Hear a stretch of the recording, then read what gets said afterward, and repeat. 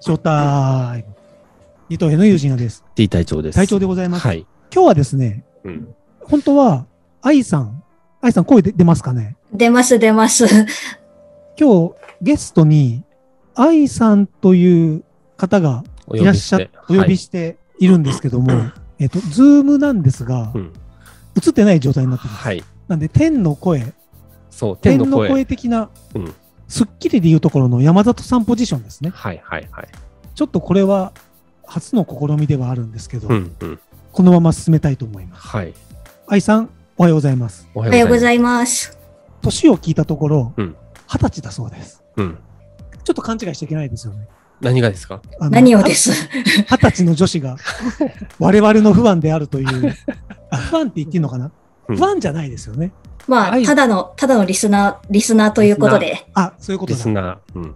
というところで、うん。来ていただき、愛さんが INTJ ですとうんいうところで、INTJ のあなたに対してコミュニケーションのヒントうん。を伝えますと。うん。まあ、それが響くかどうか。うん。ただその INTJ の方って少ないんですよね、愛さん。ああ、少ないみたいなんですよね。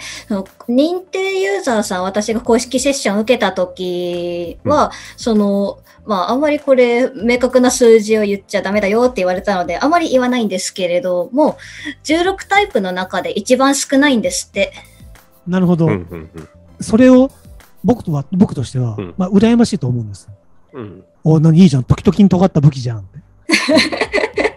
それは、愛さんがそれを聞いたときどう思うんですか ?INTJ ですって言われて、2%なんですよ、あなたって。マイノリティですね。マイノリティですねってなったときは、どんな感じがするんですか？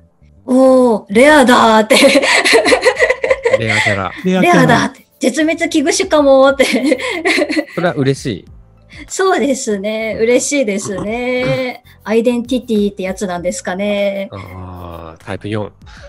このなんか、なんか軽音にいそうな、うんうんうん。いそうな。いそうな、なんかアニメ声が、うん。なんかちょっと話がちょっと違う方に行きそうなんですけど、うんなぜ M8 見ました？ど、どの辺から？エニアグラム？えーっとですね、エニアグラムではなくて、もともと、うーん、MBTI と言いますか、16タイプの時だったんですよね。最初、その他の方のチャンネルを見ていた時に、関連動画として、あなたのおすすめとして、その動画、M8 さんの動画が出ていて、ああ、なんか見たことない感じのチャンネルだなと思って見たら、あ、視聴者の方々とみんなでこうやってお話ししていくスタイルだな、面白いなって。今ねウームって言ったんですよ。ウームって言ったと思って。うん。こう、書いてあるやつですよね、漫画に。そう、漫画で書いてあるやつですよ。ウームって考えるときに。うん。はい。すいません。なるほど。こういういじりをします。申し訳ございません。申し訳ございません。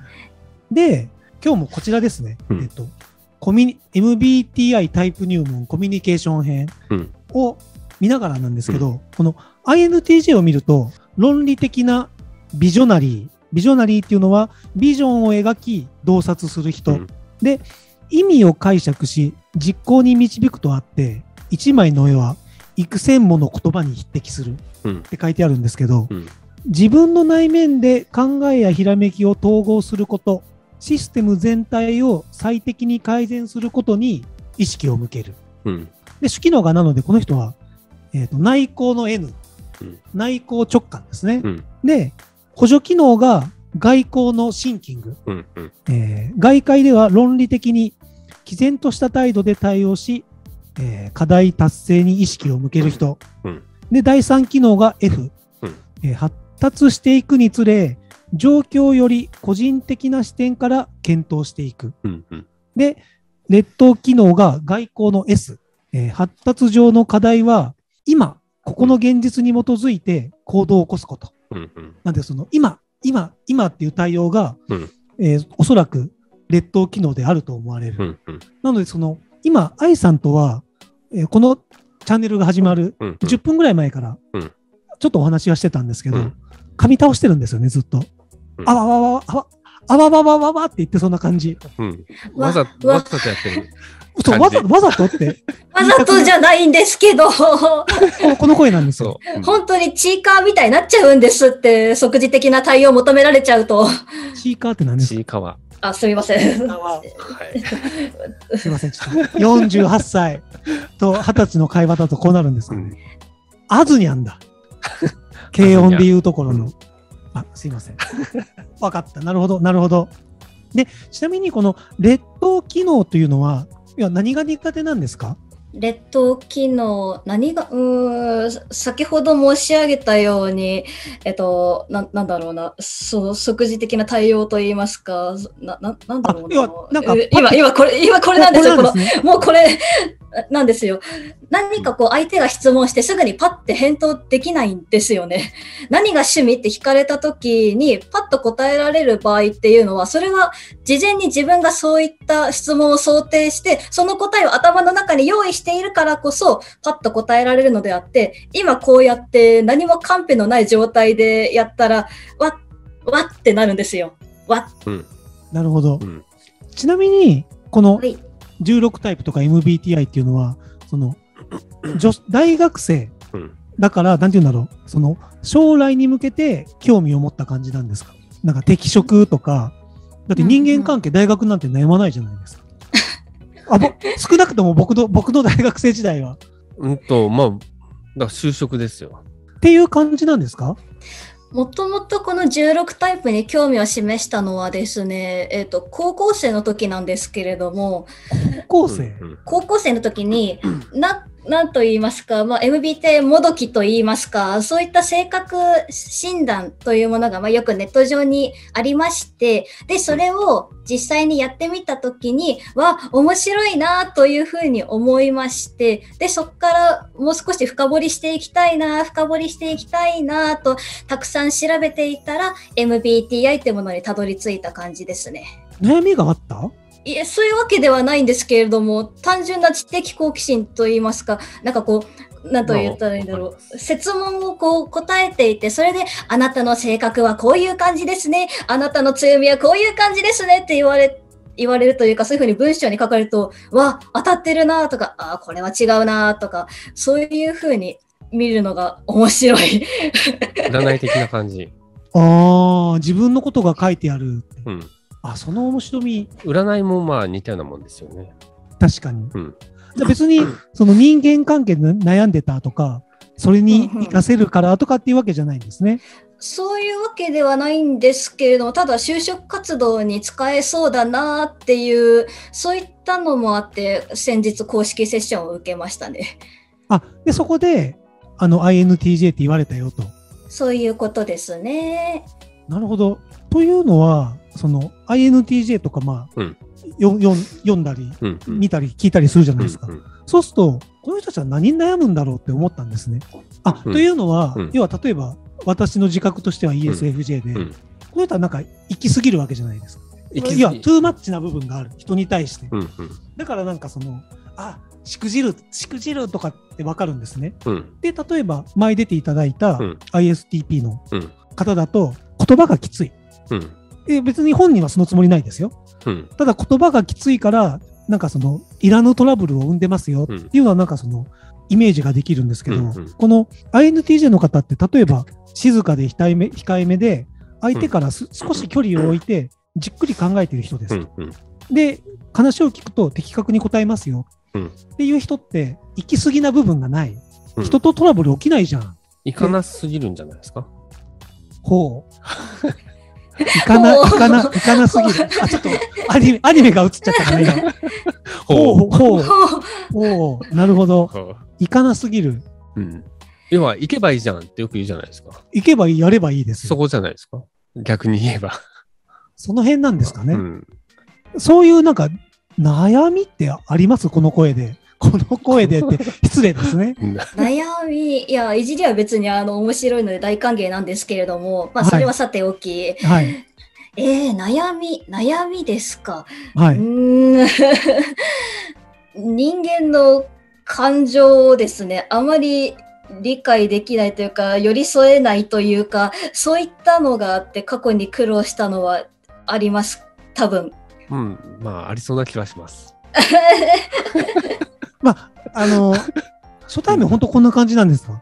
初対面、初対面は、ここういう、これが何 やっぱ今、ヒーロー、スターと話してるからこんな感じになってる。いや大スター別にいや、別に。こういうのもちゃんとできる。そう、こういうのこういうのもちゃんとできる。なるほど。でも何に悩むんだろうとはちょっと思ったんですね。悩んだ、あ、そうだ、思い出しました。あ、思い出しましたうん。思い出しました。その大学の、あの、ことある講義といいますか、まあ、レポート作成するのがあったんですけれども、はい。その、とある講義の教授が恋愛ものが大好きな教授だったんですよ。はい。ただ、私はそういった人間の恋愛感情って僕は全然わからなくて、全くもって興味なくて、もう全然寄り添えない状態で、まあ、あまり教授と反りが合わなくて、レポートを書くのに非常に苦労したんですよ。はいあ。これはどういう意味なんだろう？どうしてこの人物は、その、こんな非合理的というか、そんなむ無駄な行動をするんだろう？どうしてそんなこと考えるんだろう？っていうふうに考えまくって、それでレポートで教授からダメ出し食らって、あ、やばい、やばい、恋愛というものに対して興味なさすぎて、今、しっぺ返してきてる、やばっていうのが昨年の出来事ですかね。人に興味がない。と、まあ、そうやって、はい。まあ、理解し合えないってとこじゃないですか。ああ、そっか、このうん NT って、あ、宇宙の解明ですね、この人。うんうん。何が趣味ですか？好きな。趣味趣味はですね、まあ、絵描くことですね。なるほど。うんこもってますね。こもってる。あこもってる？違う。い家にいるなと思って。はいはいはい。なるほど。なんか若い頃って、うんうん。僕の若い頃うんはもう、パートナーはいるものみたいな。うん必要なもの、うんネセサリーですよ。一生懸命探してる感じ。そうそう。うんっていうのが大学生だろ？っていう、っていうところがあるんですけど、うん。そういうわけじゃないんですね。うんうん。みんながみんな。そうですよ。っていうのが多分、さっき隊長が言った、うん引きこもりす、何でした？引きこもりすぎとは言ってない。行かなさすぎっいかなさすぎ。ていうのが、うん。でも悩んでなければいいじゃんもあるんですけど、うん。ちょっと、この辺からなんですまあ。要は、でも、まあ、コミュニケーションじゃないですか。まあ、あの、その、いかなさすぎて、いかなさすぎてなのか、はい。損する部分はいっぱいあるじゃないですか。周りが得してるように見えます？周りが得してる、うーん、やっぱり基本的にこの世界って多数決の国ですから、マジョリティな部分なのは得してるんじゃないかなって、出る杭は打たれる国ですから。でも、うん出ようともしてないんですよね、多分。で、出ようとしたときに、はい。そうやってもう相手の気持ちがわからないみたいなところですよね。今の話でいくと。おうん。から、うまく寄り添えないみたいな。お共。感はできないから、はい。共感した演技をしなきゃいけないと、外す可能性もあるみたいな。僕今それはすごいわかるんですけど、うんうんそういう感じ？そういう感じです。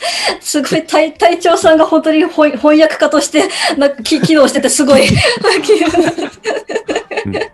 なるほど。うんそっか。なるほどね。じゃないですか。で、まだ大学生だけど、はい。就職して働き出すともっと出てかなきゃいけないじゃないですか。はいはい。そうすると出ていける人の方が楽ですよね。あ、に見えるかもしれないですけどね。楽じゃねえんだよって。いや、まあまあ、うんそれは別に確かに苦とは思ってないです。うんそういうのは、うんなるほど。寄り添えないね。うん。で、まあ、いでも、優しいは優しいんですよ。うんその、僕が、うんえっ、と、すごい個人的な話になるんですけど、腰痛さんという方。がうん1回目に出ていただいた時は、うんちょっと二等兵が空回りしたんですね。その時に、愛さんはメッセージをくれたんですよ。でもそこに、うんなんて言うんだろう。的確な言葉を並べられると、うんうん僕はもう見たくないになるんですよ。あダメだし。そう、優しさで言ってき、うん寄り添ってきてくれるのに、ごめん、俺今見たくない気分なんだよねって。うん 俺見たくねえんだよ。うんうんうんそれをって。その、的確になんか優しい、優しい言葉を積み、今読むとね、うんあ、優しさだねって思うんですけど、うんうんその、なんていうんだろう、帰ってパッて見たときに、うん的確に並べられると、あ、今違う。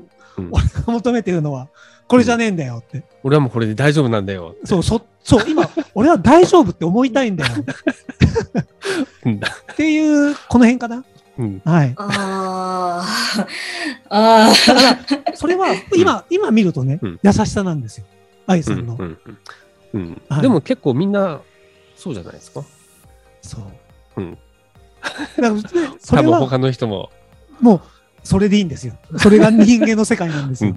それでいいと思うんですけど、うんこの辺なんですかね。うん愛さんありがとうございます。絵も、絵も飾るね。だからちょあ、っと顔が、顔が見えないのでね、ちょっと、うんこの、なんて言うんだろう。糸絵としてはちょっと難しいところがあるんですけど、えっ、と、INTJ のための、こんな INTJ のためのヒント。